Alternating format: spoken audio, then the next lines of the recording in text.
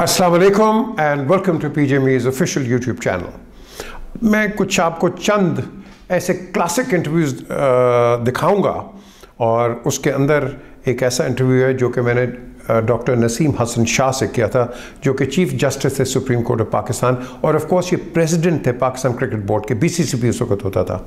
और ये वही जज हैं जिनके ऊपर बड़े इल्ज़ाम आए और उनके बड़े तनकीद का निशाना बने। लेकिन एक चीज़ है, उन्होंने एडमिट किया कि जो फांसी दी थी जुल्फ़ार अली भुट्टो को, वो गलत थी।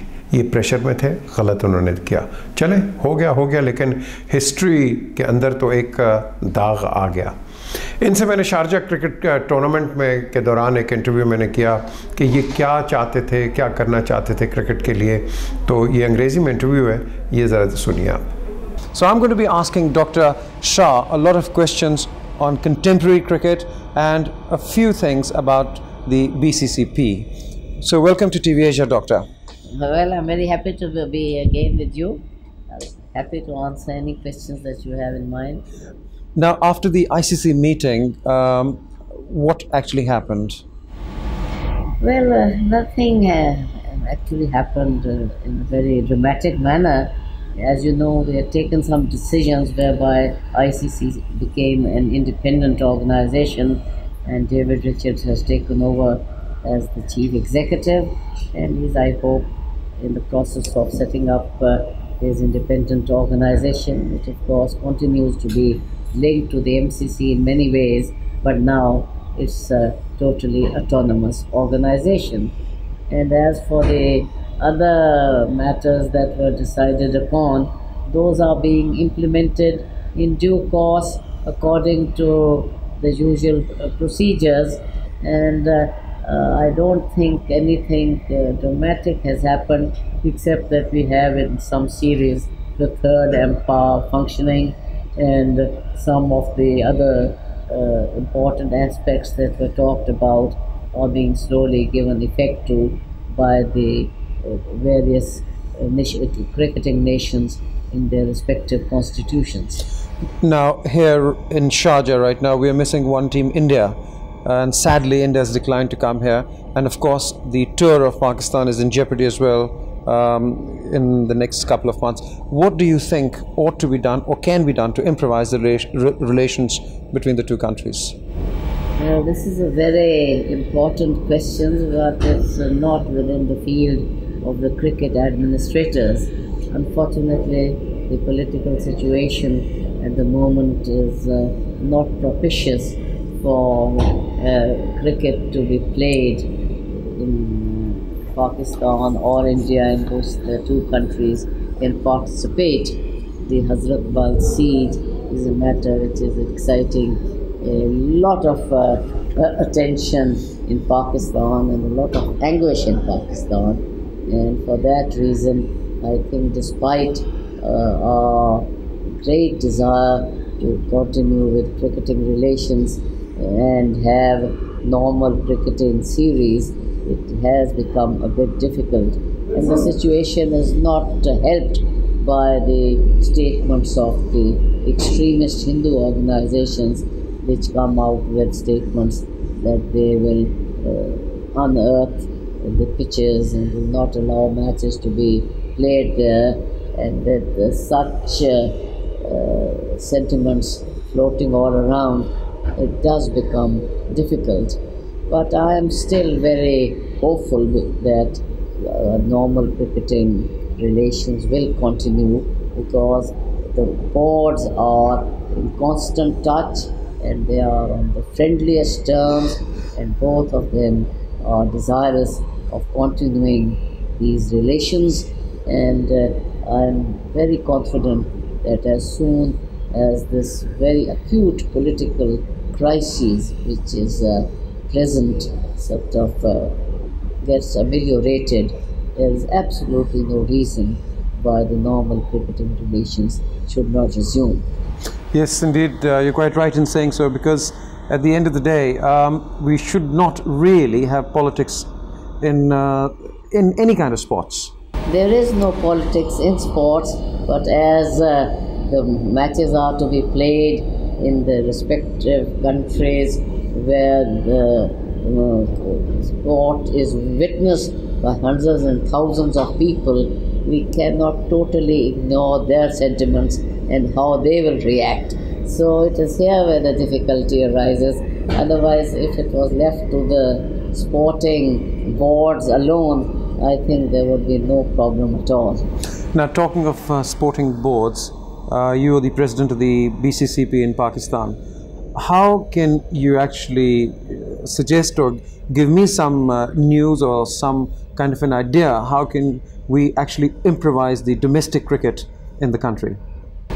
Well, you see, this is a problem which has been agitating us for a long time. One of our very notable cricketers, Mr. Imran Khan, has been very severely criticizing the domestic structure of cricket in Pakistan. But unfortunately, whenever we asked him to make some concrete suggestions and sit in the committees where the domestic structure can be revised, he has always refrained from doing so. And that, uh, as a judge, makes me think that most of his criticism is uh, not really so well founded as some people think, because otherwise, when it comes to concrete measures, how to improve the cricketing structure, to take care of the uh, cricketing future of the uh, budding cricketers, their financial uh, emoluments and their financial uh, problems, how they'll be taken over, and how uh, merely by organizing uh, cricket on sort of provincial basis and having some tournaments between the provinces uh, and not and eliminating the banks and other organizations from the cricketing uh, sort of sphere, how that will help is something which has never been worked out in any great detail. And so, therefore, my own view is that there is nothing radically uh, wrong with the cricketing structure as it exists in Pakistan. There is always room for improvement in any sphere, and that is the situation in Pakistan too. But any oh, revolutionary changes do not appear to be called for. But there are revolutionary changes. Uh, we've had uh, people like Wasim Akram and Waqar Younis, and lately Amir Nazir who really do not uh, have played as much first class cricket have come out on the international scene and only because they were picked up at the right time at the right place by the right person so if they had gone through the run of the mill i think we could have produced maybe five Wasim Akrams, five Waqars, and maybe five Amir Nazirs. I think, as we say in uh, our legal terminology, all this is very conjectural and very academic. With this structure, we have won the World Cup. We are uh, hopefully on the way of winning this triangular series, and I think there's nothing very much wrong with it. We have been able to spot new players, and Amir Nazir, whom you're talking about, is.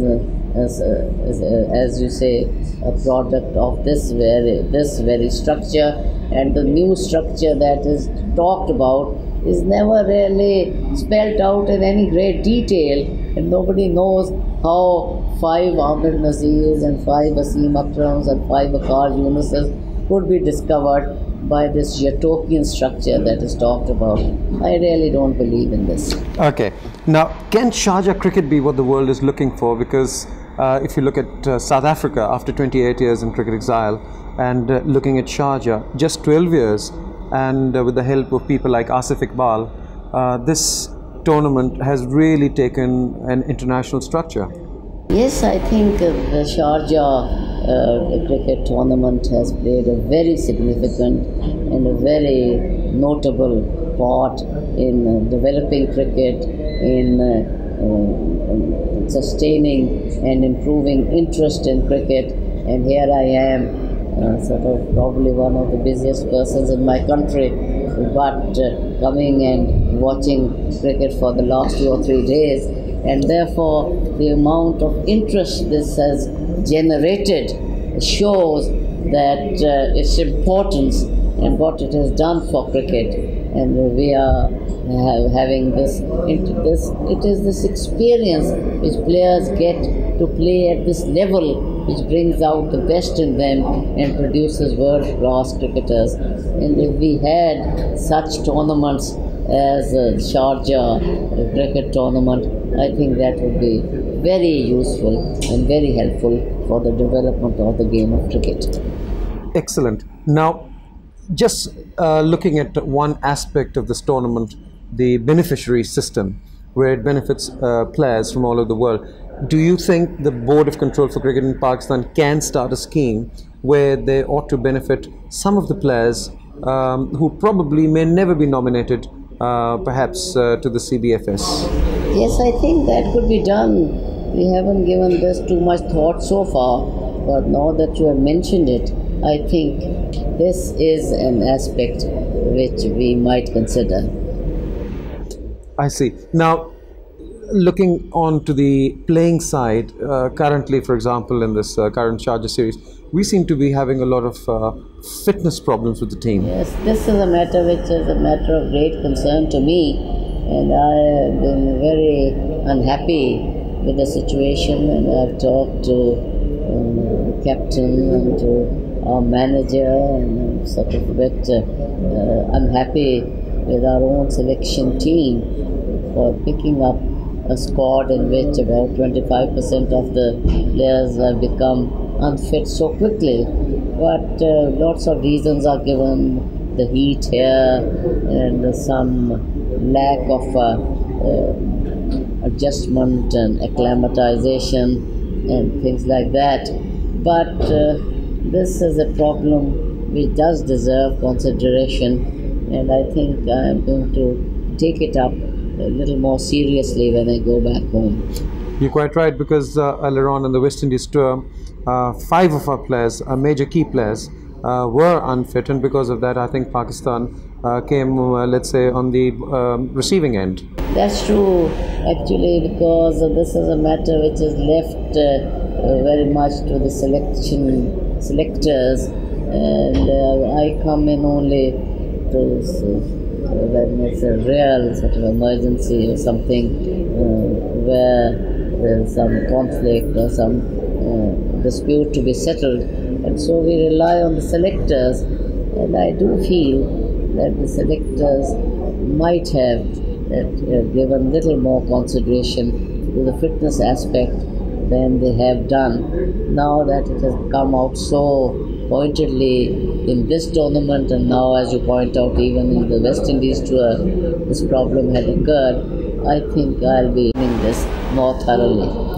Now, one thing I'd really like to commend the board on is that uh, um, this, two of the selectors are here and watching uh, the Pakistan team perform. Do you think it would be well worth the board to send these selectors to watch the players in the domestic series? I think they should, uh, but I, uh, because uh, in our domestic series, as you must realize, that matches are taking place all over the country practically at the same time, and I'm not sure whether how they can manage to see all the matches, but they should see the more important ones. I agree. And what about uh, a cricket manager, a permanent cricket manager for the team? Well, you see, that uh, is a matter which I think uh, we are still uh, grappling with that. We had a manager Intikhab Alam for a while, and uh, I think we did quite well because we, we won the World Cup. And after he retired, we have not really been able to uh, pick up the right manager so far. We are still grappling with this problem, and I'm not sure whether we can have a permanent manager right now. We are still in the midst of uh, working things out on that front. Also, as um, I guess a former cricketer for Pakistan, what I have seen is that uh, the Pakistan team also lacks a professional physio because with the tours and different climates and fatigue and exhaustion, the players really need somebody to look after their physiques. This is a very important point, and I felt it myself. We were very uh, good uh, friend whom I think Mr. Bukhatir has invited Dr. Haroon from London and he has been sort of uh, looking after our boys here, although he had come here only to watch the matches. And he is a, a person who has uh, been asked to provide us with names of certain qualified physiotherapists because you are quite right. We need a regular physiotherapist to accompany the boys on all the tours. Now, it's very easy to criticize the BCCP whether you know it's doing the right thing or it's doing the wrong thing. But um, a person comes to my mind, your secretary, Shahid Rafi, the selfless work he's done for the board. Yes, we are proud of him. He is working very hard and he's got some very important executive duties to perform.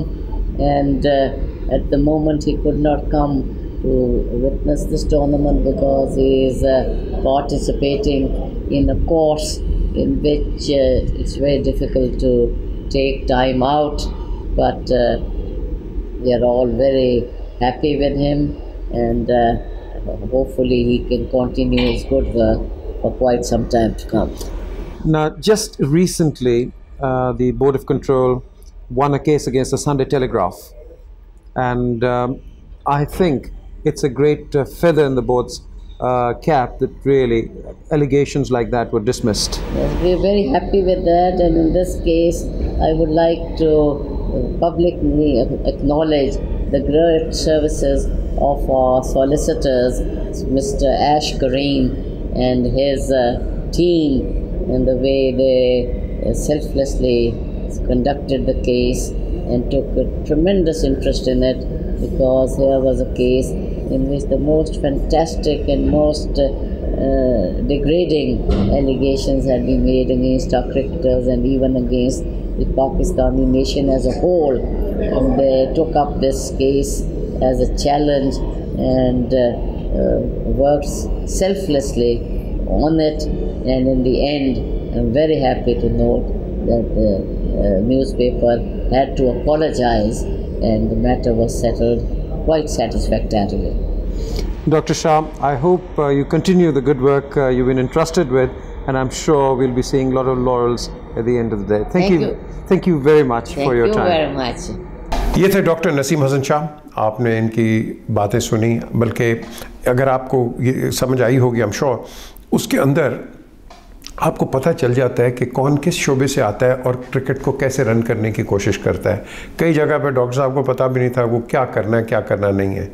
हालाँकि he was a very busy man और इतनी busy post के ऊपर as chief justice supreme court वो इधर आए और you know cricket भी देखी हर चीज़। तो मैं समझता हूँ कि ये एक आई ओपनर होता है कि get the people the right people for the right job after yourself and please subscribe to the channel and of course uh, आपके सामने और भी मैं क्लासिक इंटरव्यूज़ लेते आऊँगा। खुदा